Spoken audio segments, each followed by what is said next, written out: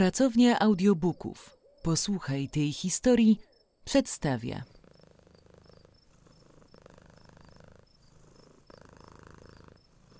Marcin Kuźma. Baba Jaga. Czyta Aneta Kosno.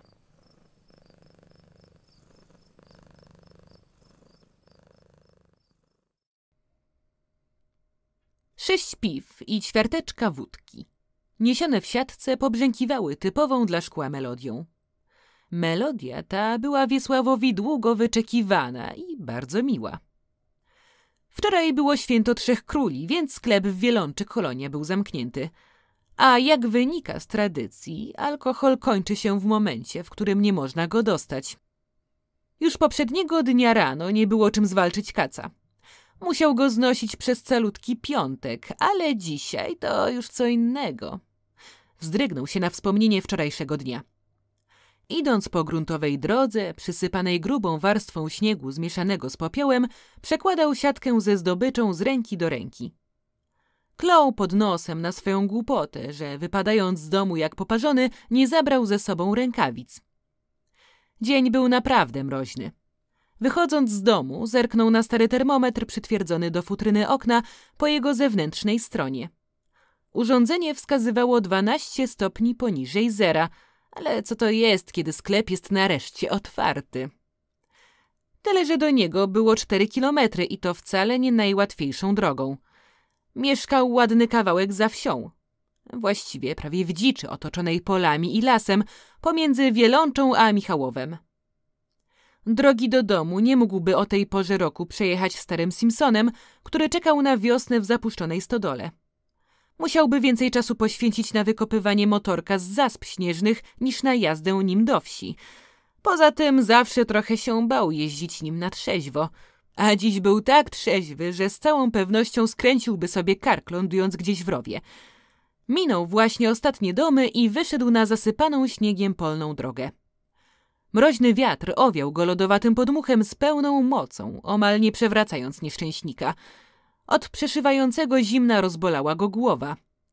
Palce u stóp były już tak zmarznięte, że miał wrażenie, iż za chwilę odpadną z bólu. Sięgnął do siatki i wydobył z niej ćwiartkę.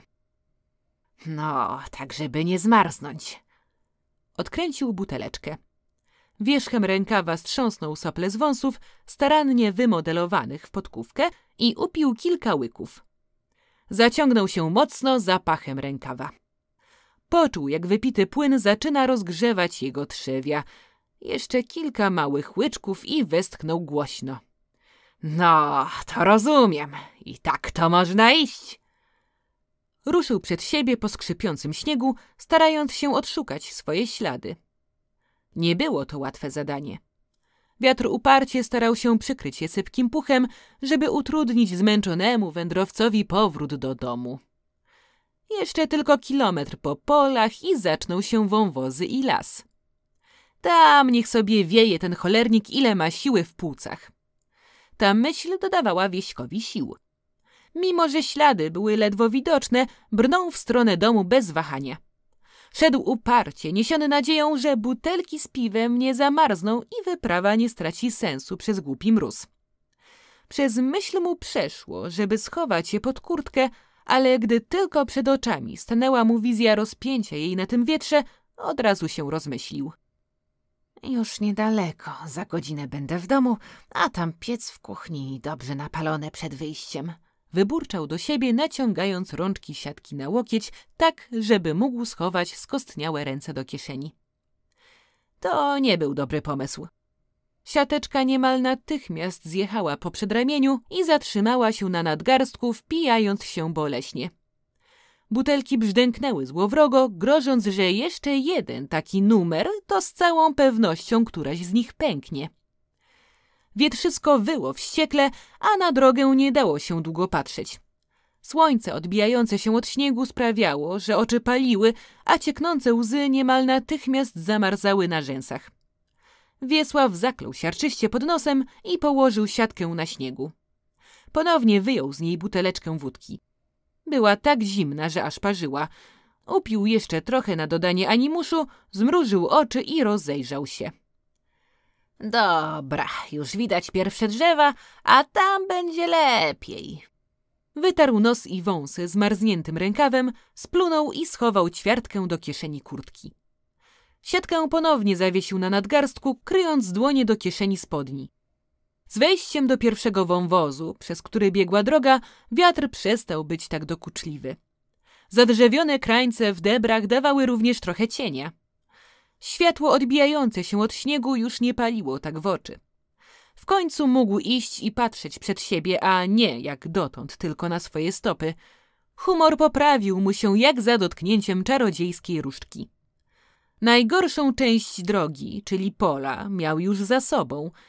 Teraz tylko wąwozy, niewielki lasek i już jest w ciepłym domu. Postanowił to uczcić. Próbował odkręcić ćwiartkę w kieszeni jedną dłonią. Niestety, palce były tak skostniałe, że nie chciały wykonywać jego poleceń. Nie wyczuwał nawet, czy dotyka nakrętkę czy szkło. Westchnął ze złością i wyjął całą butelkę. Przyjrzał się krytycznie zawartości i stwierdził, że zostało raptem kilka łyczków. Nie musi więc wyciągać drugiej ręki, tylko otworzył ją zębami, a co zostało, może spokojnie wypić po drodze. Nakrętka puściła. Był z siebie dumny. Kiedy człowiekowi się bardzo nie chce, to rozwiązanie problemu zawsze się znajdzie. Wypluta nakrętka natychmiast znikła w śniegu. Łyknął na raz połowę zawartości i przez chwilę delektował się rozchodzącym po ciele ciepłem. Szedł niespiesznie, popijając co chwilę z buteleczki. Skończył ćwiartkę zaraz przed potężną zwaloną topolą. Drzewo musiało przewrócić się jakoś niedawno, zaraz po nadejściu pierwszych ostrych mrozów. Najpewniej rozsadziło je od zimna, a wiatr dokończył sprawę. Tak czy inaczej zwaliło się w poprzek wąwozu i zawisło jakiś metr nad drogą biegnącą jego dnem. W drodze do sklepu zauważył je, ale był tak skupiony na swoim zadaniu, że bezwiednie schylił się pod zawieszonym drzewem i minął je, nie zastanawiając się nad jego losem aż do tej pory. Teraz już się tak mocno nie spieszył i mógł się spokojnie przyjrzeć. Ale będzie opało? Gwizdnął pod nosem z zadowolenia. Niech się ociepli, odwiedzę cię z piłą i sankami. Zaśmiał się do siebie. Popatrzył na drugi koniec debry, gdzie musiała być korona z walistej topoli. Ponownie gwizdnął. Uderzenie musiało być tak silne, że wybiło jamę w ziemi albo otworzyło jakąś starą pieczarę. Już dawno słyszał, że wybierano z tych stron glinę. Podobno ludzie jeszcze podczas wojny robili tu ziemianki, żeby się ukrywać przed hitlerowcami. Przyjrzał się dziurze. Może faktycznie to taka zapomniana kryjówka? Może jak wróci tu z latarką, to znajdzie jakiś dawno zagrzebany pod gliniastą ziemią skarb? Podszedł bliżej i zobaczył, że od pieczary biegną ślady stóp na śniegu. Przetarł oczy z niedowierzaniem. To faktycznie były już ledwo widoczne ślady, ale bosych stóp, nie odciski butów. Wzdrygnął się i ochota do poszukiwania skarbów w tym miejscu przeszła mu całkowicie. Z przerażeniem stwierdził, że ślady podążają w tym samym kierunku, w którym teraz on musi iść. Zaklął i przeżegnał się jednocześnie. Chciał też splunąć przez ramię, ale plfocina od razu przykleiła się do dolnej wargi i przywarła do brody. Poczuł, jak na niej zamarza. Wytarł brodę rękawem, schylił się, przeszedł pod drzewem. Ostrożnie ruszył dnem wąwozu. Patrzył na znikające pod spadającym śniegiem ślady i zrobiło mu się jeszcze zimniej. Żałował, że skończył całą butelkę, bo teraz przydałaby się na odpędzenie tego irracjonalnego strachu. Szalejące myśli, podpowiadając coraz to straszniejsze historie, dyktowane wybujałą, wspomaganą alkoholem wyobraźnią. Przystanął i wydobył butelkę piwa. Tak, na uspokojenie nerwów – Powiedział głośno, żeby dodać sobie otuchy. Otworzył zapalniczką, łyknął trochę i natychmiast pożałował. Napój był lodowaty, jakby połknął garść śniegu. Przestraszył się, że zimny płyn przelewający się przez przełek i wpadający do żołądka może go otrzeźwić. Wzdrygnął się na tą myśl. Popatrzył na butelkę i powiedział sam do siebie: No przecież nie wyrzucę. Przyłożył butelkę jeszcze raz do ust i upił z nadzieją, że teraz będzie lepiej. Nie było. Miał nawet wrażenie, że było jeszcze gorzej. Popatrzył przed siebie i prawie zamarł ze strachu. Jakieś sto metrów przed nim zauważył nagą, starą kobietę, dosyć obfitych kształtów, idącą powolutku, noga za nogą. Krzyknął ze strachu, wypuszczając piwo z rąk i poczuł ciepło rozlewające się po jego udzie. Przetarł oczy i z ulgą zauważył, że żadnej starej, grubej baby przed nim nie było. Poszczałem się w spodnie. Rozejrzał się. Śladów stóp również nigdzie nie zobaczył. Odetchnął spokojniej, ale czuł, że serce wali mu jak młotem. Co jest do cholery? Tak pijany nie jestem. Szybko do domu, nim mi fujara zamarznie. Powiedział głośno. Przez chwilę nasłuchiwał, czy nikt mu nie odpowie. Czy jakieś dzieciaki nie wybuchną śmiechem i nie zaczną uciekać od starego pijaka. Nic takiego się nie stało. Szybko ruszył, starając się już o tym nie myśleć. Kiedy dotarł do zakrętu w wąwozie, postanowił go przejść dużym łukiem tak, żeby mieć cały czas jak najlepszą widoczność na to, co jest za nim. Plama ciepła na udzie już zdążyła zamarznąć i spodnie przywarły do nogi. Każdy szybki krok sprawiał ból i wyrywał włosy z uda. Na szczęście za zakrętem nic dziwnego się nie działo. Minął dużą pryzmę śniegu i odetchnął z ulgą. Zaśmiał się głupkowato i przyspieszył kroku. Już blisko, już zaraz dom, dodawał sobie otuchy. Wtem zobaczył kolejny ślad. Tym razem był on bardzo wyraźny, z ciężko odbitą piętą i palcami, które musiały być zakończone wedle odcisku długimi paznokciami. Najbardziej przerażające było to, że ślad był teraz odwrócony w drugą stronę. Jakby jego właściciel dopiero co minął się z Wiesławem. Siatka z brzękiem wysunęła mu się z dłoni. Stał jak sparaliżowany. Spróbował się odwrócić i spojrzeć za siebie, ale nie zdążył. Coś obrzydliwie włóknistego i cielesnego oplotło jego szyję i mocno zacisnęło się wokół niej. Szamotanie się nie przyniosło żadnych rezultatów. To, co go trzymało, miało potwornie dużo siły. Nawet nie drgnęło. Wiesław właśnie zrozumiał, że już nigdy nie dojdzie do domu. Patrycja była w niebo wzięta. Jechała właśnie autobusem na jedną z tych słynnych na całą szkołę imprez do Pawła w Wielączy. Nigdy wcześniej nie była zaproszona na żadną z nich. Zawsze słyszała tylko opowieści, jak dobrze się tam bawili i jakie to idealne miejsce, żeby się wyszaleć. Wczoraj rano zebrali się prawie całą czwartą klasą na przemarszu Trzech Króli pod katedrą w Zamościu. Paweł sam podszedł do niej i zapytał, czy nie chciałaby przyjechać do niego na imprezę. Najwidoczniej nie mogła wtedy w to uwierzyć, bo Paweł zakłopotał się na chwilę i dodał zaraz, że inni też tam będą. Oczywiście, że się zgodziła. Zgodziłaby się również wtedy, gdyby nie było tam nikogo poza nimi. Zawsze się jej podobał. Przystojny, dobrze zbudowany, sprawiający wrażenie łobuziaka. Był po prostu jak Dawid dłuta Michała Anioła. Chociaż w pewnym miejscu z całą pewnością większy niż Dawid. Zaczerwieniła się na tę myśl. Niestety większości dziewczyn z klasy również się podobał i na pewno o tym wiedział. Westchnęła ciężko. Nigdy wcześniej nie zwracał na nią uwagi. W sumie nie było się czemu dziwić. Z całą pewnością Patrycja nie grzeszyła urodą. Za to lekką nadwagą, owszem. Może nawet więcej niż lekką. No i małomównością i nieśmiałością. Kiedy on każdym ruchem aż krzyczał: Jestem tutaj! Ona swoją postawą szeptała: Nikogo tu nie ma. Chodzili do jednej klasy w liceum plastycznym, ale nie widywali się zbyt często, bo mieli dwa różne profile. Ona była na reklamie wizualnej, on oraz ta bardziej zabawowa część klasy na snycerce. Kiedy ona walczyła z obróbką zdjęć w Photoshopie, druga grupa rzeźbiła w drewnie. Kiedyś zajrzała nawet do ich pracowni. Zdziwiła się na widok uczniów siedzących podczas pracy na stołach, luźnej atmosfery, żartów i salw śmiechu między stuknięciami drewnianych młotków od łuta. Nie dziwiło już jej to, że właśnie ta druga grupa jest tak mocno zżyta ze sobą. Pozazdrościła im tego, ale teraz jechała, żeby chociaż w tej ostatniej klasie zintegrować się z nimi. I ta myśl cieszyła ją naprawdę mocno. Żałowała tylko, że nie została zaproszona na imprezę do Wielączy nigdy wcześniej.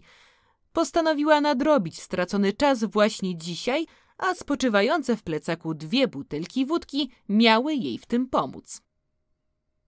Autobus właśnie przekroczył tabliczkę z nazwą docelowej miejscowości i teraz miała wypatrywać punktów orientacyjnych. Po prawej stronie minęli kościół i cmentarz, potem wielką karczmę ordynat. Podeszła do kierowcy i poprosiła, żeby zatrzymał się przy żółtym sklepie. Skinął jej głową i po chwili zatrzymał autobus. Wysiadła i podeszła pod wiejski sklep, właściwie duży dom z zaimprowizowanym punktem sprzedaży w jego parterowej części. Tutaj miał ktoś na nią czekać. Dzień był lodowaty, wietrzysko przewiewało ją chyba do samych kości i po krótkiej chwili zdążyła porządnie zmarznąć. Nie było nikogo i zaczynała wpadać powoli w panikę. Pomyślała, że ją wystawili.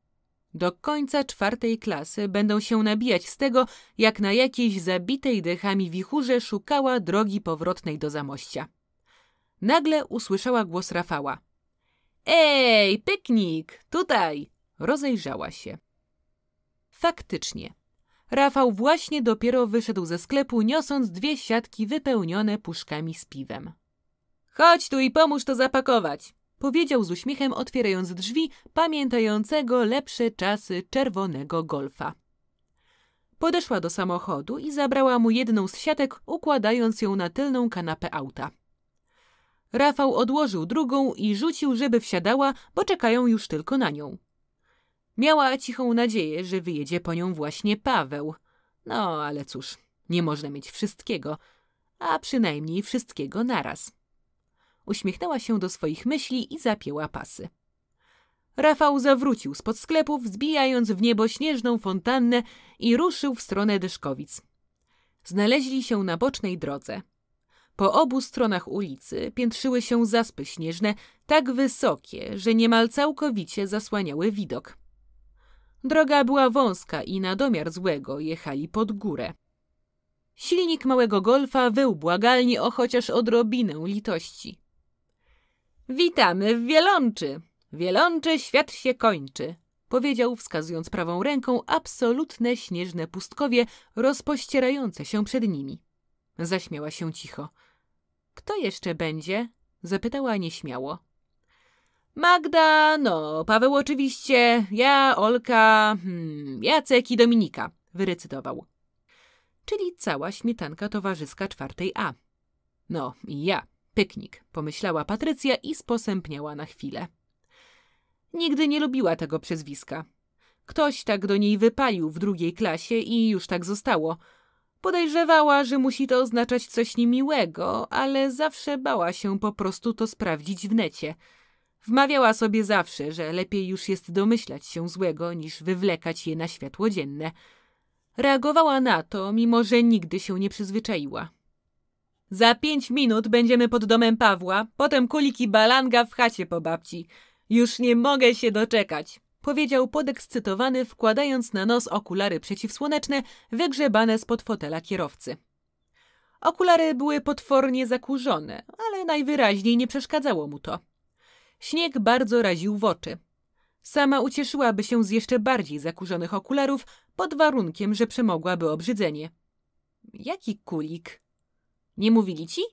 Imprezka będzie na jeszcze większym zadupiu niż jesteśmy. Jeden dom na dwa kilometry, niczego oprócz wąwozów i lasów. Najbliższy sąsiad to stary pijak, ale i tak na tyle daleko, że z za lasu nie widać jego chałupy. Paweł bierze traktor od starego, a my wsiadamy w sanie. Pół godziny i jesteśmy na miejscu i to już wstawieni, bo nie napić się na kuligu to no... no nie wiem, jak lać na siedząco. Powiedział zadowolony z siebie. Zmierzyła go wzrokiem. No, dla faceta oczywiście. Wyszczerzył się głupkowato i zamilkł na chwilę. Swoją drogą, nie boisz się tam jechać? Za pierwszym razem każda dziewczyna się boi. A czego miałabym się bać? Nie wiesz? Wykrzyknął zdziwiony, obracając twarz w jej kierunku. Okulary zsunęły mu się na czubek nosa. Nie, nie wiem. I patrz na drogę! Ofuknęła się rozeźlona. Rafał gwizdnął pod nosem. Dobra, ale jakby co, to ja ci nic nie mówiłem. Skoro Paweł ciebie nie uprzedził, to nie wiem, czy powinienem. No, ale dobra. To było tak, że z jakieś dziesięć lat temu, na początku stycznia, babcia Piotrka zamarzła w tym domu. Od tej pory na wsi się mówi, że w okresie Trzech Króli widać w okolicach staruszkę przechadzającą się i proszącą o trochę ciepła. Poczuła, jak jeżą się jej włosy na głowie i przyspiesza tętno. Po chwili dopiero zorientowała się, że przecież mówił to Rafał, a on zrobiłby wszystko, żeby się z kogoś ponabijać. Prawdopodobnie wymyślił tę historię, żeby ją straszyć. Nie boję się duchów i nawet w nie nie wierzę, powiedziała dumnie i nie odzywała się już do końca drogi. Przy kolejnym wiejskim sklepie skręcili w lewo na gruntową drogę. Śnieg mieszał się na niej z żużlem i popiołem. Rafał przejechał jakieś sto metrów i zatrzymał się po prawej stronie przy piętrowym ceglanym domku. Na wjeździe stał ciągnik, do którego zaprzężone były duże sanie wyściełane kostkami słomy i kocami. Faktycznie, o kuligu nikt mi nie wspominał, pomyślała Patrycja i wysiadła z samochodu.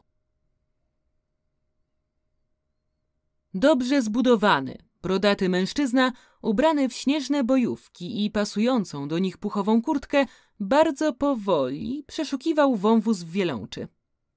Odkąd natrafił na prawie już zasypane śniegiem odciski butów, ostrożnie podążał ich śladem. Na jego ramieniu wisiała potężna strzelba typu Mossberg, również w śnieżnym kamuflażu. Mężczyzna przystanął przed zwaloną topolą zawisłą nad debrą i wyjął z kieszeni paczkę papierosów. Odpalił jednego i zwrócił się do kubki luźno rozrzuconego śniegu u jego stóp. Masz coś? Z kubki puchu wyskoczył malutki gronostaj. Cały biały, z czarnym pędzelkiem na czubku ogona. Zwierzątko próbowało wyciągnąć ze śniegu szyjkę butelki. Brodaty pochylił się i wyjął pustą butelkę po ćwiartce wódki, oglądając ją uważnie. Po chwili odrzucił ją z powrotem w śnieg, wyprostował się i zwrócił do gronostaja. Tego mogłem się po tobie spodziewać, ale może coś konkretniejszego. Zwierzątko kichnęło i popatrzyło na niego z wyrzutem paciorkowatymi oczkami. Po krótkiej chwili przemówiło. Wiesz, że mam katar i w ogóle nie powinno mnie tu być. L4, mówić to coś? Brodaty mężczyzna ani trochę się nie zdziwił. Roześmiał się tylko pod nosem. Ale flaszkę to wywęszyłeś mimo kataru, co? Pochylił się i przeszedł pod drzewem, przyglądając się uważnie obu krańcom wąwozu, nad którym wisiało. Nie zauważył niczego, co mogłoby go zaniepokoić i ruszył powoli śladem niknących odcisków. Gronostaj znacznie go wyprzedził, dobiegł do zakrętu i niemal natychmiast zawrócił, ponaglając mężczyznę. Ten zdjął strzelbę z ramienia i natychmiast odbezpieczył spust. Gdy tylko dobiegł do miejsca, w którym zwierzak podskakiwał z ekscytacją, zauważył siatkę.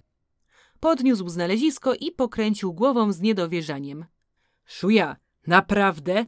Chyba muszę ci zaoferować jakiś program wychowania w trzeźwości. Przejrzał zawartość siatki, wyjął z niej trzy pęknięte i zamarznięte butelki piwa oraz dwie nienaruszone. To nie moja wina, ale jakieś znaleźne mi się chyba należy. Pomyślimy, czy zasłużyłeś. Brodaty schował nienaruszone butelki do bocznych kieszeni spodni. Jest jeszcze czapka, o tam. Gronostaj wskazał łapką starą papachę, pokrytą cienką warstwą puchu. Strasznie cuchnie, chyba nigdy nie prana i co dzień noszona. Tak czy inaczej, smród przebija się nawet przez katar. Świeża zguba. Chyba coś mamy. Wątpię, żeby ktoś gubił od tak czapkę w taką pogodę.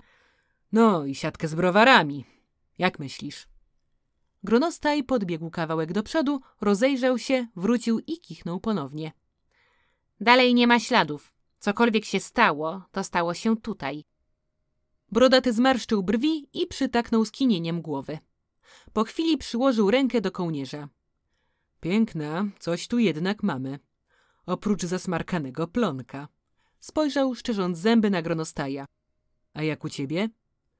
Odczekał chwilę i z niewielkiego głośniczka przy kołnierzu wydobył się miły kobiecy głos. Właściwie to biało, zimno i wietrznie. Jakieś dzieciaki robią sobie kulik. Trzydzieści minut w saniach dało jej się mocno we znaki. Całą drogę dostawała w twarz bryłami zbitego śniegu, który był wyrzucany spod kół ciągnika. Dziewczyny powiedziały jej, żeby usiadła na początku sani, bo stamtąd będzie miała najlepszy widok na drogę. Skorzystała z zaproszenia i w konsekwencji nie widziała nic oprócz fontan śniegu. Cały kulik w jej przypadku polegał na nieudolnym uchylaniu się od niego i strzepywaniu go z twarzy oraz ubrania.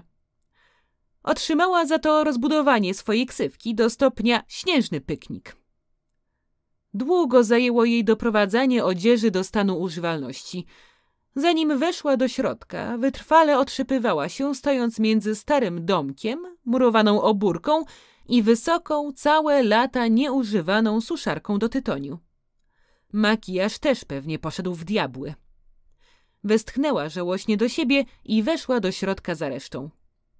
Dom był faktycznie niesamowity. Nie wiało, nie śnieżyło, zaraz po wejściu do głównej sieni witał człowieka drewniany, pomalowany tradycyjnie na biało wiejski kredens, wielki dębowy stół i prawdziwa perła. Już niemal wyparta ze wsi przez piece CO2, piękna kaflowa kuchnia angielska. Patrycji stanęły przed oczami wspomnienia podobnej kuchni całe lata temu u jej babci w Białowoli o bawieniu się fajerkami i pogrzebaczem. Chłopaki zdążyli rozpalić już podpałkę w piecyku, Paweł obrócił się do niej i uśmiechnął. Już zaraz będzie ciepło. W drugim pomieszczeniu jest jeszcze wysoki piec kaflowy. Jak się porządnie nachajcuje, to będziemy mogli się porozbierać. Puścił jej oko. Poczuła, że się czerwieni. Obróciła się na pięcie i wróciła na ganek, żeby zdjąć już rozmarznięty płaszcz. Kiedy wróciła, dziewczyny rozstawiały na kuchennym stole przygotowane wcześniej sałatki i przekąski. Zrobiło jej się strasznie głupio, że sama nic nie przygotowała. Paweł klęczał osamotniony przed piecem kuchennym i rozdmuchiwał żerzące się szczapy. Popatrzył na nią i na pewno musiał to zauważyć, bo od razu zapytał – a co ty taka markotna? Nie spodziewała się tego, ale trzeba było grać dobrą minę do złej gry. Uśmiechnęła się do niego. No wiesz, usiądź z przodu, mówili. Będzie fajnie, mówili. Wrobili mnie jak dziecko. Zaśmiała się i odetchnęła w duchu, bo on również się zaśmiał. Nie przejmuj się nimi, w końcu ich wyczujesz. Jasne, odpowiedziała, ciesząc się, że pierwszy raz w życiu tak długo z nim rozmawia. Postanowiła jakoś podtrzymać tę chwilę. Przykro mi z powodu twojej babci. Rafał mi powiedział, no i dziewczyny, jak jechaliśmy w saniach. Natychmiast tego pożałowała, ale najwyraźniej Paweł nie poczuł się tym dotknięty, zbył to machnięciem ręki. Nawet jej nie znałem. Wiem, jak wyglądała tylko dlatego, że w drugiej izbie na toaletce jest jej zdjęcie. No i mam po niej dom do dyspozycji. Skinęła głową. Szkoda, że wcześniej nie przyjeżdżałaś tu na imprezy. Pokochałabyś tą dzicz. Przywiozłam dwie butelki wódki. Może wyniosę je na ganek, niech się nie grzeją powiedziała. Stwierdziła, że lepiej nie dodawać, że nigdy wcześniej nie dostała zaproszenia. Jasne, powiedział i zajął się podkładaniem drewna do piecyka. Było już w okolicach siedemnastej i na zewnątrz zdążyło się ściemnić. Na całe szczęście światło księżyca odbijało się od śniegu, dając tyle światła, że bez żadnego problemu można było zobaczyć drogę, którą jechali, jak i odcinający się w oddali las. Las ten jeżył się na horyzoncie złowrogą czernią. Po niecałej godzinie w domu było już ciepło i impreza przeniosła się do drugiej izby, o wiele obszerniejszej. Tutaj meble gryzły się walcząc ze sobą o styl. Sprzęty typowe dla polskiej wsi, takie jak wielki malowany posagowy kufer, drewniana toaletka czy dębowa szafa, przegrywały bój z meblościanką, przeszklonym regałem czy dwoma tapczanami rodem z epoki PRL. Był to dosyć smutny widok, ale co mogła na to poradzić? Posagowa skrzynia posłużyła za stolik do kart. Muzyka puszczana z niewielkiego odtwarzacza CD aż huczała w uszach, a wódka dobrze się lała. Pękły dwie butelki, a trzecia była na wykończeniu. Patrycja dzielnie starała się pić co drugi kieliszek, ale i tak czuła, że jest zrobiona. Dziewczyny, jak się już rozkręciły, zaczęły ją podpuszczać historyjkami o duchach. Puszczała je mimo uszu. Z wielkim namaszczeniem Rafał udawał, że wykręca już pustą butelkę po trzeciej flaszce do kieliszka. Odezwał się do niej. Pyknik, skocz na ganek po następną, tą najzimniejszą. I zapojkę jest w kuchni na górze w regale, dodała Dominika, szczerząc się do niej. Paweł posłał jej czarujący uśmiech. Temu nie mogła odmówić. Wstała i wyszła przez kuchnię na ganek. Wybrała wódkę, którą sama przyniosła. Z całą pewnością była dobrze zmrożona, ciecz wydawała się być gęsta jak olej. Wróciła do kuchni, odstawiła butelkę na stole i otworzyła górną szafkę w kredensie. Coś z głośnym puf rąbnęło oblat. Na domiar złego, niemal w tym samym momencie zgasło światło i ucichła muzyka. Patrycja ze strachu wytrzeźwiała w jednej chwili. Dziewczyny w pokoju obok zaczęły piszczeć, natomiast chłopcy wybuchli głośnym śmiechem. To korki czasem strzelają, jak za dużo się podłączy. Zaraz to załatwię. Poinformował uspokajająco głos Pawła. Odetchnęła z ulgą. Za chwilę Paweł wszedł do kuchni, przyświecając sobie telefonem.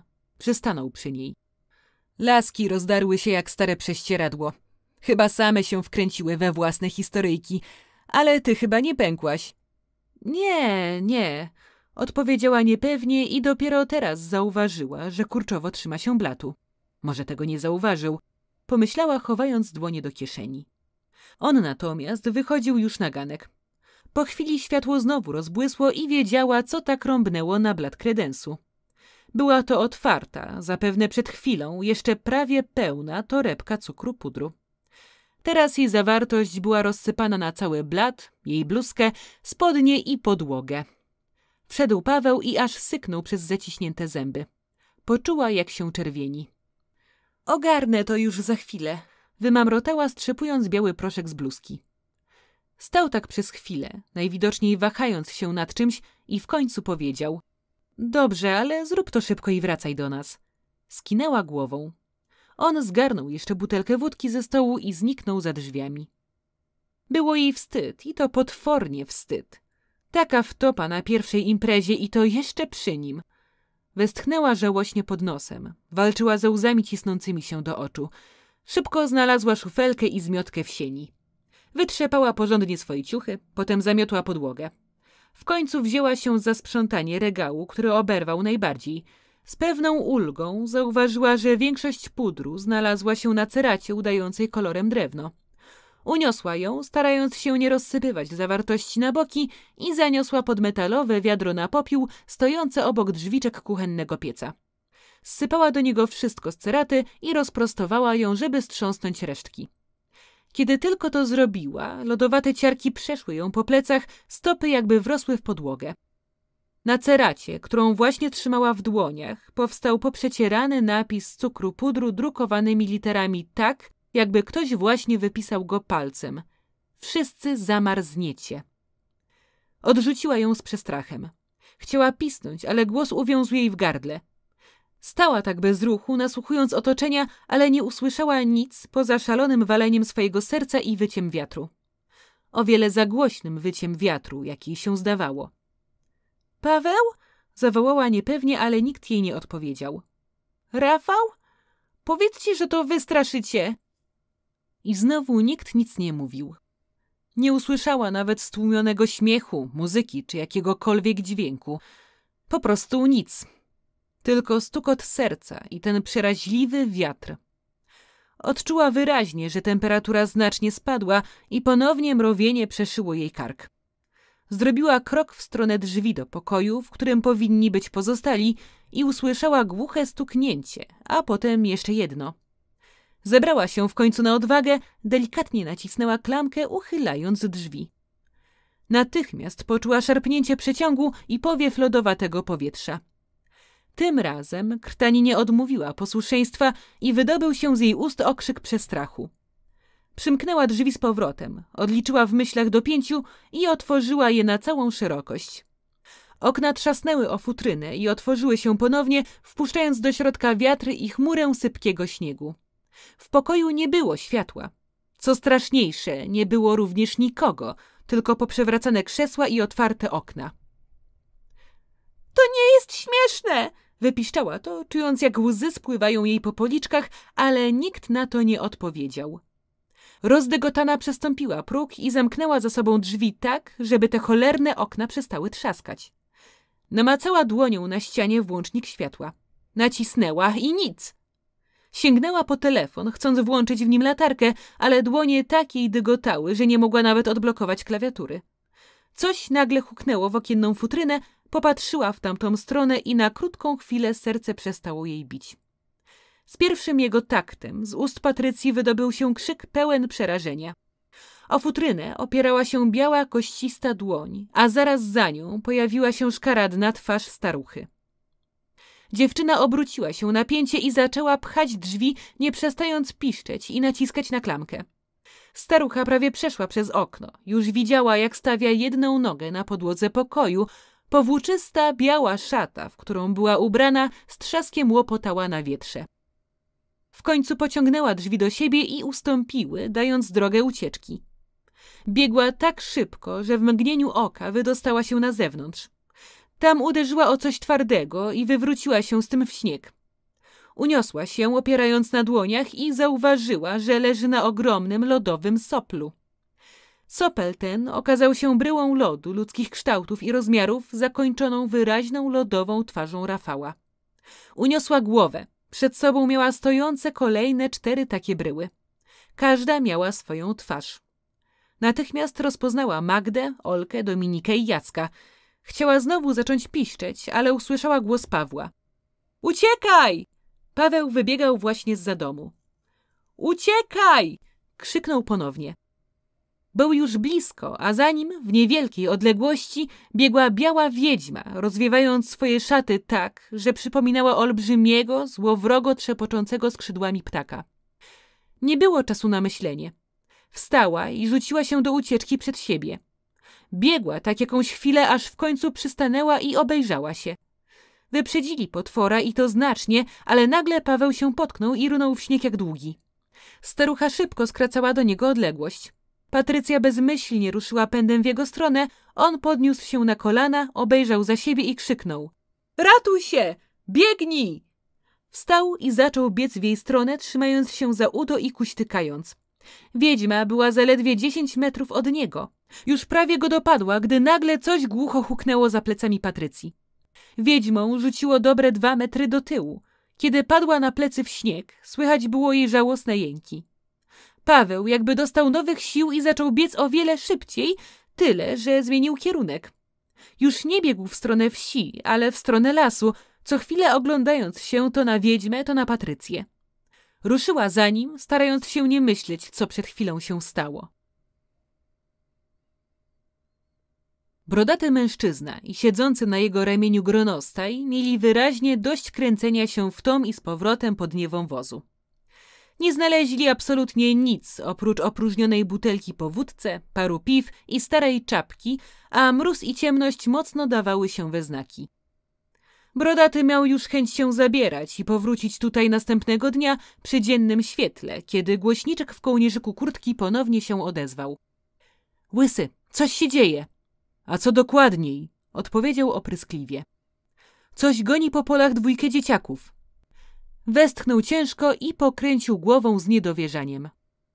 Wanda, nie masz dziesięciu lat. Co ich goni? Sarna, chłop z kłonicą, czy no nie wiem, wilkołak? Ale ja sama tego nie wiem. Wygląda, no, jak duch. Pierwszy raz widzę coś takiego. Mężczyzna sposępniał i zwrócił się do gronostaja siedzącego mu na ramieniu. Kurna, jak ona nie wie, to kto będzie wiedział? Zwierzątko pokręciło łebkiem na znak, że ono z całą pewnością nie. I taki z ciebie pożytek. Burknął pod nosem i zwrócił się do małego mikrofonu.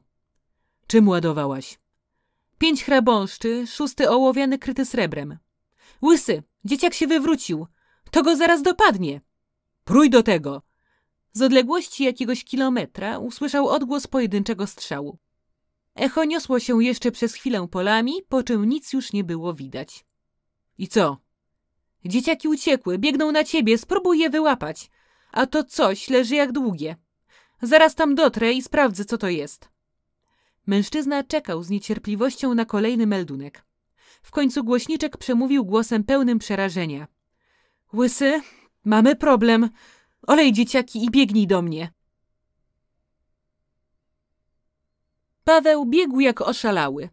Strach dodawał mu siły. Widział, jak Patrycja próbuje za nim nadążyć, ale miał nadzieję, że zgubi ją w lesie. Nie miał pojęcia, z czego ona strzelała, ale przecież widział tego efekt. Już, już za chwilę wbiegnie między drzewa, tam go nie znajdzie. Przyczai się, a ona go minie. Potknął się o korzeń i runął w śnieg z takim impetem, że poturlał się, a zaraz potem wypadł śliskiem na zbocze wąwozu. Próbował chwycić się jakiegoś drzewa, ale nic nie wpadło mu w ręce. Zjechał na brzuchu na samo dno. Wstając, rozbił sobie nos o zawieszone nad nim potężne drzewo. Bolało go chyba wszystko i czuł, jak krew cieknie mu po brodzie. Nabrał w dłonie trochę śniegu i przyłożył do nosa. Oparł się o pień powalonego drzewa i zaczął nasłuchiwać. Coś zaszeleściło za jego plecami. Odskoczył od drzewa i wyjrzał za nie. Nic tam nie było, odetchnął z ulgą. Obejrzał się za siebie i zdążył zauważyć kątem oka szkaradną, prawie na wpół zwierzęcą twarz, tak blisko jego twarzy, że na uchu poczuł powiew oddechu. Nie zdążył zareagować w żaden sposób. Coś z niesamowitą szybkością oplotło się wokół jego ust i nosa i z potworną siłą zacisnęło, blokując dostęp powietrza. Łysy właśnie dobiegł do kobiety pochylonej nad czymś leżącym na śniegu. Kobieta była ubrana w identyczny uniform jak ten, który on nosił. Na jej ramieniu również siedział mały gronostaj. Co jest? Zapytał zasapany, przyklękając obok. Kobieta miała łzy w oczach. Spójrz, wskazała na ciężko dyszącego maszkarona, po czym złapała go za nos. Skóra oderwała się, ukazując pod spodem całkowicie ludzką twarz. Zapłakaną, przerażoną i wykręconą bólem. Był to młody chłopak, na oko może osiemnastoletni. Z lekkim obłędem w oczach przyglądał się im, ale oprócz jęków i kłębów pary z jego ust nie wydobywał się żaden dźwięk. To jest przebrany dzieciak, nie żadna cholerna mamuna, której mieliśmy szukać. Rozumiesz? Całe szczęście, że nic wielkiego mu się nie stało. Dostał chrabąszczem w pierś. Może żebro mu pękło, a może nawet nie. Warknęła ze złością. Brodaty przyjrzał się chłopakowi. Ma szczęście, że to nie ja strzelałem. Pierwszą bym wsadził między oczy i na pewno doprawił dla pewności. Westchnął z niedowierzaniem. Dobra, zabierz go do ich domu i nakarm zapominajkami. Resztę też nakarm. Potem opowiedz im prawdopodobną bajeczkę, a ja i Szuja pójdziemy szukać tamtej dwójki. Odwrócił się na pięcie i pobiegł w stronę drzew okalających debry. Szybko odnalazł ślad na śniegu, który świadczył o tym, że ktoś musiał zjechać tędy w dół. Poszedł tym tropem i zatrzymał się przy wiszącej topoli. Sięgnął po latarkę i przyświecił sobie. Odkrył plamy krwi na śniegu i pniu drzewa oraz odciski butów. Odkrył też coś jeszcze. Był to ślad bosej stopy. Przeszedł go dreszcz. Szuja! szepnął, a gronostaj zeskoczył z jego ramienia na ziemię. Znajdź dobry punkt obserwacyjny, najlepiej gdzieś wysoko. Potem śledź nas i przyprowadź tu Wandę, kiedy już będziesz wiedział, gdzie jest kryjówka. Rozumiesz?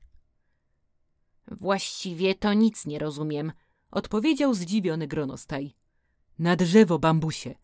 Krzyknął mężczyzna, łapiąc zwierzątko i ciskając nim w stronę najbliższych rozłożystych gałęzi. Zdjął strzelbę z ramienia i rzucił w śnieg. Jej śladem powędrował długi sztylet i niewielkie etui z odznaką, na której widniał przeszywający włócznią bestię anioł.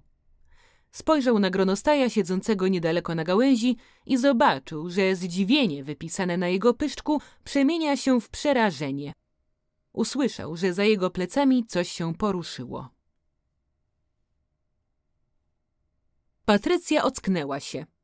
Coś obejmowało ją w łydkach i wlokło za sobą po ziemi, przystając co chwilę i sapiąc. Czuła, że jest naga i poraniona chyba na całym ciele. Spróbowała się poruszyć, ale była związana jak świąteczna szynka. Wokoło panowała całkowita ciemność i smród.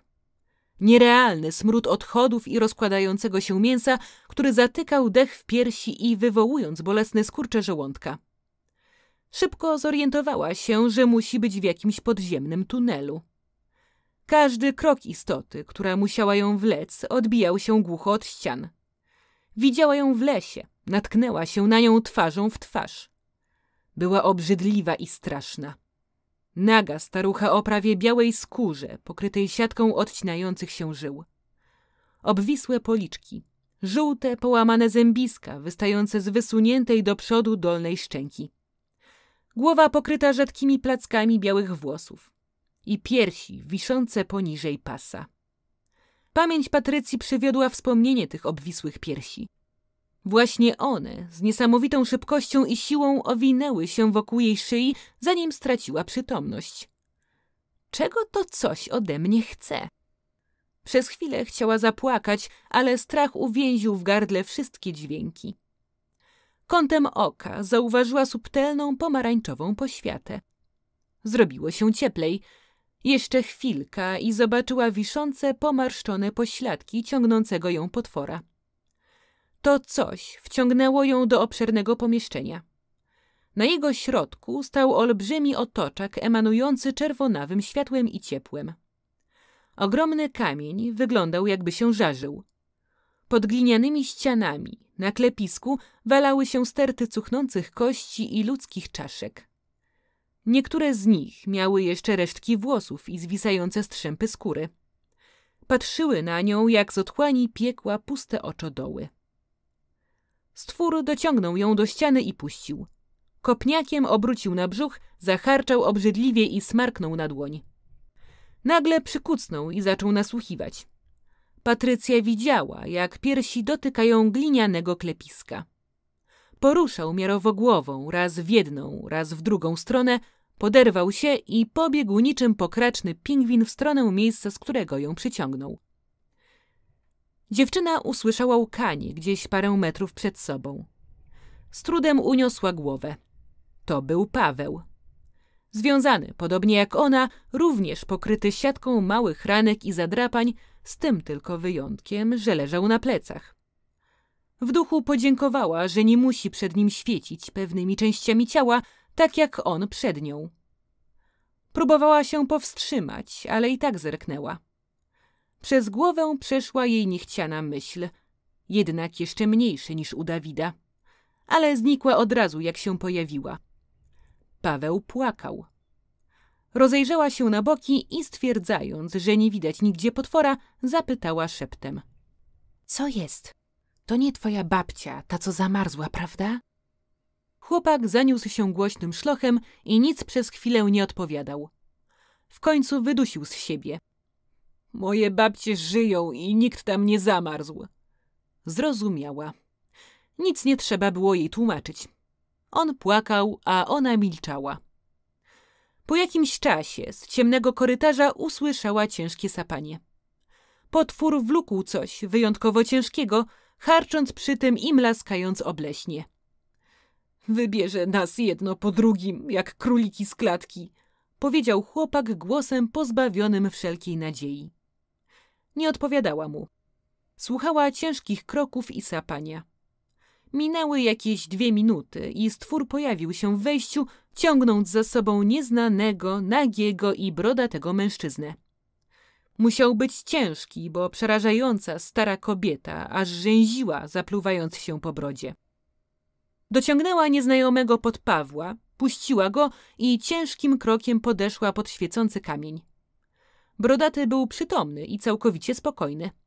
Zupełnie tak, jakby zgadzał się na to, co go właśnie spotkało, a nawet z ciekawością i lekkim uśmiechem rozglądał się po pomieszczeniu. Gdy ich oczy natrafiły na siebie, mogłaby przysiąc, że puścił do niej oko. Podbudowało to ją nieco. Starucha zdjęła coś z drugiej strony otoczaka i zbliżyła się z tym do Pawła. Musiały to być paski mięsa, grzejące się już od dawna na tym dziwnym kamieniu. Kucnęła i jedną ręką otworzyła usta, a drugą wepchnęła kawałek mięsa. Wypluj to, cicho powiedział, a właściwie rozkazał ten brodaty. Paweł posłuchał. Starej musiało się to nie spodobać, bo zaraz dostał w twarz tak, że jej pazury zostawiły ślad na jego policzku. Chłopak ponownie zaniósł się płaczem, a potwór podniósł wyplute mięso i sam włożył sobie do ust. Jak tylko przełknął, wstał i powlókł się w stronę korytarza, z którego przyszedł. Co to było? zapytała Patrycja, kiedy stwór zniknął już z oczu. Ludzina, odpowiedział nieznajomy. Ale czemu nas tym karmi? Pan coś wie? Może nam pan to wytłumaczyć? Kim? Czym w ogóle jest? Patrycja poczuła, że zaczyna wpadać w prawdziwą panikę i że jeszcze chwila, a zacznie się dusić. Po pierwsze, nie pan. Skoro już musicie się do mnie zwracać, to preferuję łysy.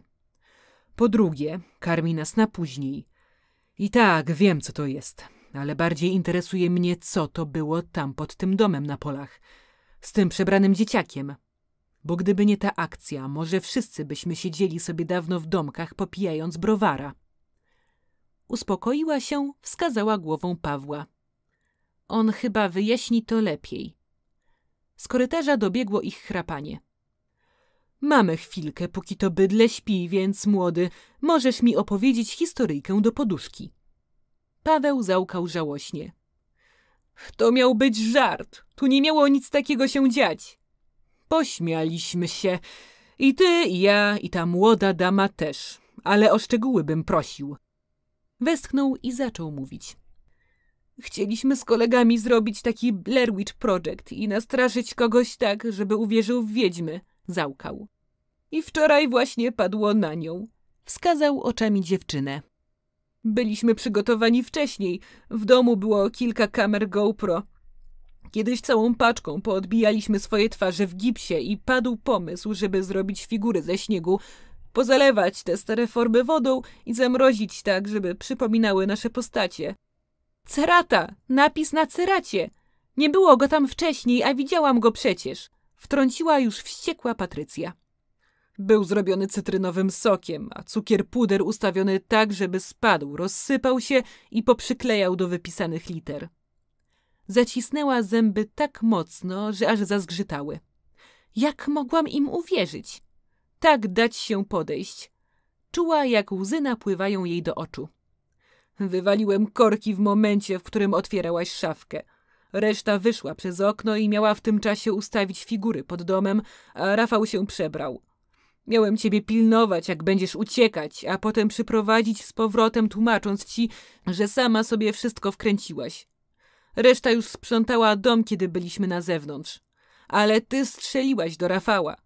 Nikt nie wiedział, że masz broni, bałem się, że do mnie też strzelisz. Ja nie miałam żadnej broni!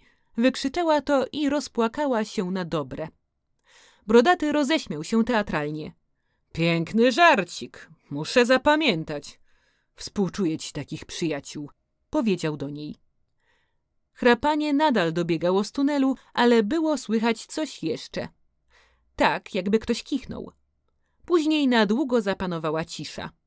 Kiedy chrapanie ponownie się rozległo, małe, białe stworzonko, zdawało jej się, że kuna albo łasica, weszło niepewnie do środka, pilnie rozglądając się na boki. Zauważyło ich i zaczęło zbliżać się już pewniej. Nie podchodź, syknął brodaty przez zaciśnięte zęby. Zwierzę przystanęło w pobliżu emanującego światłem kamienia. Co, co to jest? zapytał Paweł przestraszonym głosem. Zaczarowany jamniczek spełniający życzenia. Pod warunkiem, że życzysz sobie pcheł, odpowiedział nieznajomy, najwyraźniej ubawiony swoim żartem. Patrycja przemogła strach i zapytała: A tak naprawdę? Naprawdę, zapytajcie go. Przysięgłaby, że mrugnął do zwierzęcia. Ono natomiast kichnęło i patrzyło na niego chyba ze zdziwieniem lub zażenowaniem. Musicie tylko użyć zaklęcia. Jamnik, jamnik, nie bądź srogi, dam ci browar na... w domu. Zwierzę przysiadło na klepisku i ku przerażeniu jej i Pawła przemówiło. Głupi jesteś, wiesz?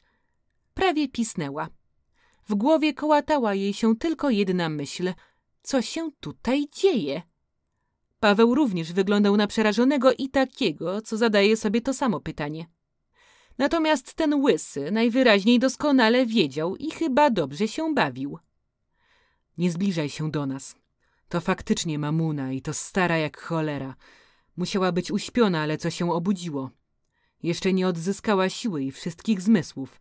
Jest prawie ślepa i głucha, ale to chwilowe. Perfekcyjnie zaciera ślady i węch ma już bardzo dobry. Wyczuje cię, więc lepiej, żeby nie wywęszyła twojego zapachu na nas, powiedział łysy. Zwierzę słuchało go uważnie, oglądając się za siebie i odpowiedziało mu. Jaki jest plan? Porozglądaj się trochę i pozwiedzaj.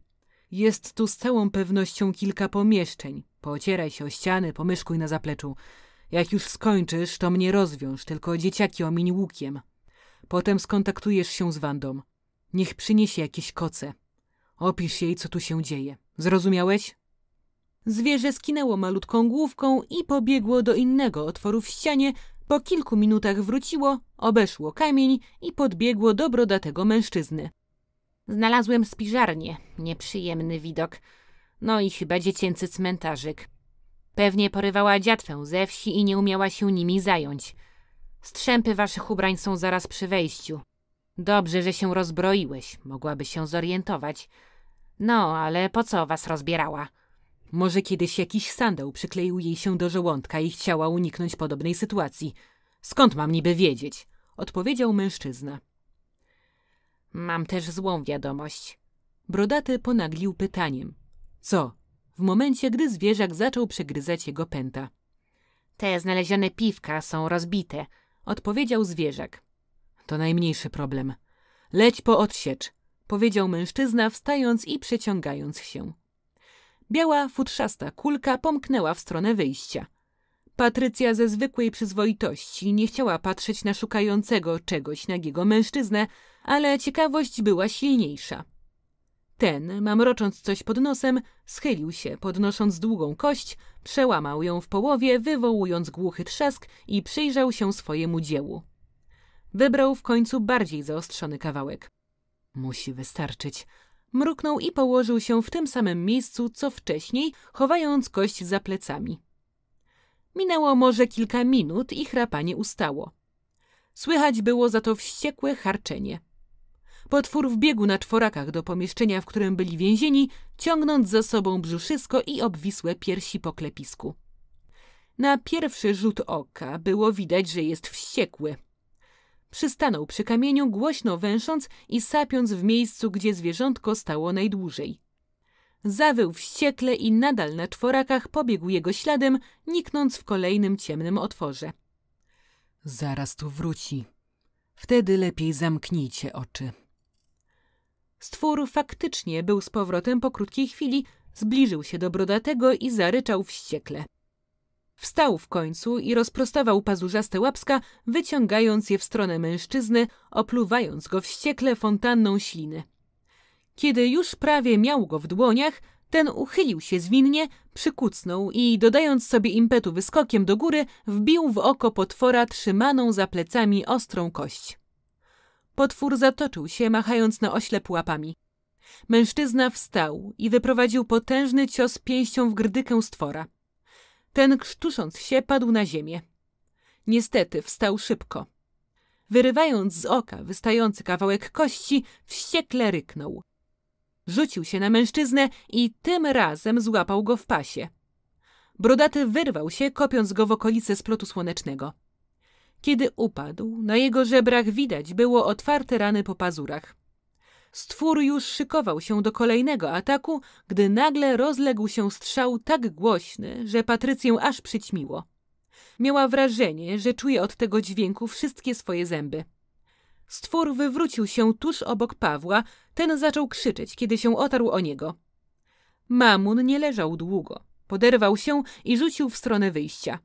Padły kolejne strzały, aż cztery. Patrycja nic nie słyszała. Wiedziała, że piszczy, ale nie słyszała tego. Zamknęła oczy, nie chcąc patrzeć na to, co się dzieje, i ponownie padły strzały. Zerknęła. Tym razem strzelał mężczyzna, trzymając w dłoniach krótką strzelbę. Jakaś ubrana na biało kobieta przebiegła po pomieszczeniu i wskoczyła potworowi na plecy zamaszystym ruchem, wbijając mu długi nóż w kark. Światło kamienia natychmiast zgasło, pogrążając pomieszczenie w lepkiej, wręcz namacalnej ciemności. Wszystko ucichło. Poczuła, że coś otarło się o jej stopy, zaczęła wierzgać i krzyczeć. Cieniutki głosik natychmiast ją uspokoił. Nie rzucaj się, chcę ciebie uwolnić. To na pewno był głos zwierzątka, ale tym razem nieco inny. Czuła, jak chodzi po niej i zatrzymuje się od czasu do czasu, żeby przegryźć krępujące ją pęta. Błysnęło oślepiające światło. Teraz widziała, że kobieta stoi tyłem do nich. Nie odwracając się, rzuciła coś brodatemu mężczyźnie. Okryj się i te dzieci też, powiedziała, kładąc latarkę na ziemi tak, by oświetliła większą część pomieszczenia. Patrycja kątem oka widziała leżącego potwora pod jedną ze ścian. Kałuża oleistej krwi pod nim robiła się coraz większa. Brodaty zbliżył się do niej i nakrył kocem, kolejny rzucił niechętnie Pawłowi. Zauważyła, że obok chłopaka też jest białe zwierzątko, które przegryza jego więzy. Podniosła jeden ze sznurów, który jeszcze przed chwilą ją krępował.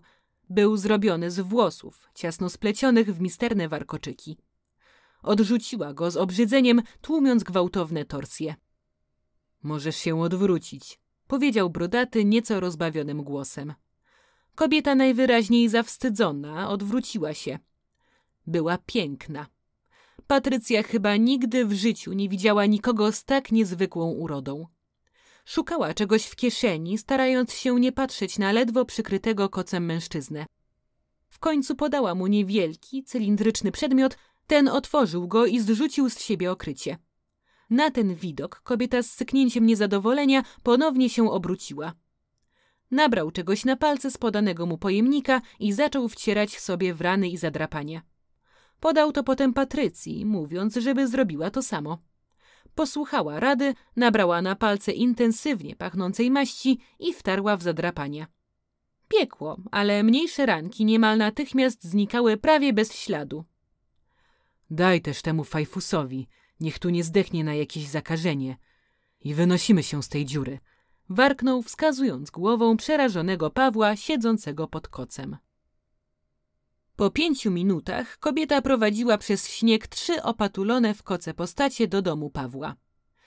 W środku okazało się, że faktycznie dom jest wysprzątany, ani śladu lodowych posągów, śniegu w środku czy cukru pudru.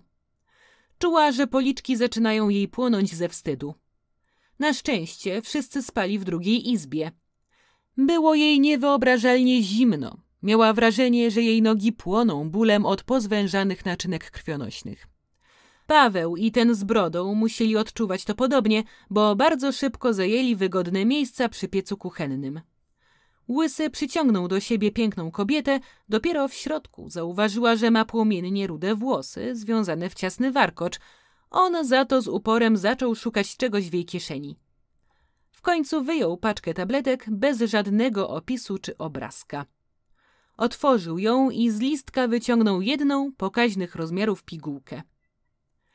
Zawołał chłopaka czymś w stylu Ej, ty! i podał mu ją. Na wzmocnienie, żebyś jeszcze nie fiknął. Paweł nie protestował. Połknął bez słowa i opuścił wzrok. Dwa małe zwierzątka też grzały się przy piecu. Ktoś zapukał do drzwi. Właś! krzyknął brodaty, nie zwracając najmniejszej uwagi na osowiałego gospodarza. Do domu wszedł młody mężczyzna, dosyć przystojny, o pogodnej i wesołej twarzy. Ubrany był zupełnie tak samo jak ładna kobieta, a na jego ramieniu również siedziało małe zwierzątko. Przywitał się z dziwną parą i popatrzył na nią i Pawła. Eliasz jestem, powiedział szybko. Nowo przybyły podał duży plecak brodatemu. Jak się okazało, były w nim ubrania. Ten zrzucił z siebie koc i jak na zawołanie zaczerwieniona kobieta obróciła się tyłem. Patrycja poszła jej śladem. Poczuła dotyk na ramieniu. Masz, te są dla ciebie. Będą za luźne, ale nie przejmuj się tym, bo jedziesz z tą dwójką. Zawiozą ciebie do domu. Już przebrany brodaty podał jej ciuchy. Przyjęła je z wdzięcznością. Zauważyła też, że Paweł nie dostał ubrań. W duchu ucieszyła się z tego. Mężczyźni wyszli z kuchni, zabierając ze sobą chłopaka, więc mogła się ubrać w spokoju. Faktycznie, maskujące śnieżne spodnie i bluza były stanowczo za duże na nią, tak samo jak buty, ale były ciepłe, a to było najważniejsze. Zapukali do drzwi. Tak, można już, odpowiedziała. Chodź, jedziesz z nami. Łysy tu zostaje i dopilnuje, żeby nic się nie działo, powiedziała kobieta. Paweł obudził się na podłodze z koszmarnym bólem głowy. Ostre światło wpadało przez okna, rażąc w oczy. Z całą pewnością miał kaca. Rozejrzał się po pokoju. Dziewczyny, najwyraźniej również dobrze skacowane, siedziały bez słowa na tapczanie, wpatrując się przed siebie. Obok niego cicho pochrapywał Rafał. Jacek plecami do wszystkich spał w najlepsze na drugim tapczanie. Chłopak odrzucił z siebie koc, którym byli przykryci, a dziewczyny wpadły najpierw w pisk. Potem w irytujący śmiech, przypominający dźwięk uderzających o siebie szklanych butelek, od którego głowa bolała jeszcze bardziej. Rafał zbudził się i odskoczył od niego jak poparzony. Wtedy Paweł zorientował się o co chodziło. Był całkowicie nagi. Porwał za koc i zasłonił się nim. Śmiech nie ustawał, tym bardziej, że Rafał był tylko w rozciągniętych slipkach, a na jego piersi widniał olbrzymi fioletowo-żółtawy siniak z centralnym punktem wielkości pięciogroszówki. Musiało boleć, bo od razu złapał się za to miejsce. Może przestaniecie ryczeć i poszukacie mi czegoś? Rzucił w przestrzeń naprawdę wkurzony.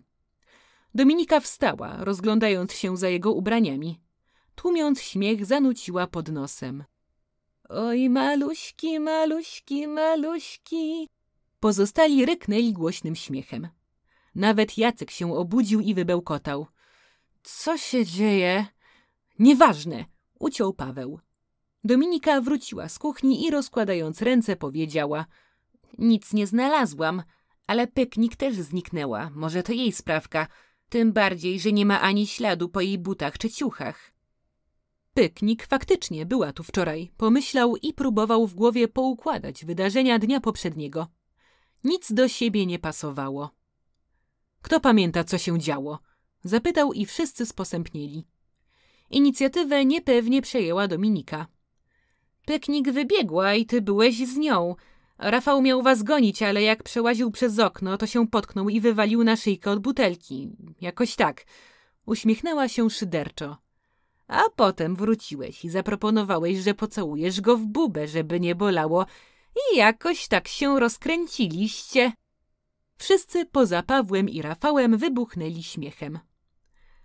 Do momentu wywalenia się Rafała też pamiętam, a potem chyba po prostu chlaliśmy. Wtrąciła się Magda. Dominika, zadzwoń do peknika. A, i możesz pozbierać kamerki, to zobaczymy, co się działo. Wymamrotał Paweł. Dziewczyna wyszła, wybierając numer w telefonie.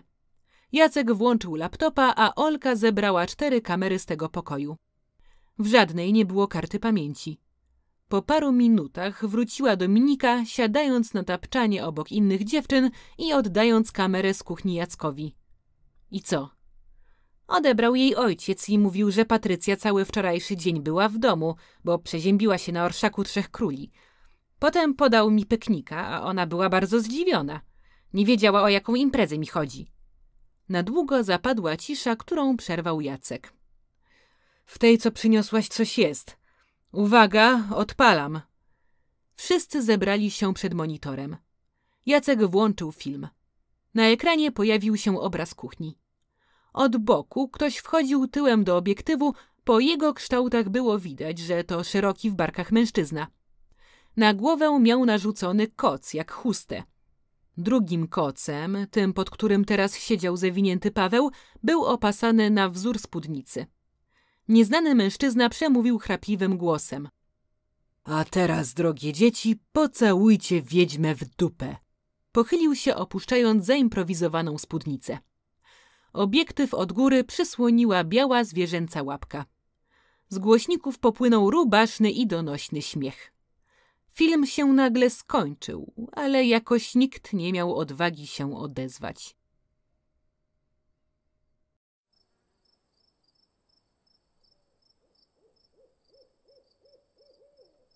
Spodobało Ci się to opowiadanie? Sprawdź też inne dostępne na moim kanale.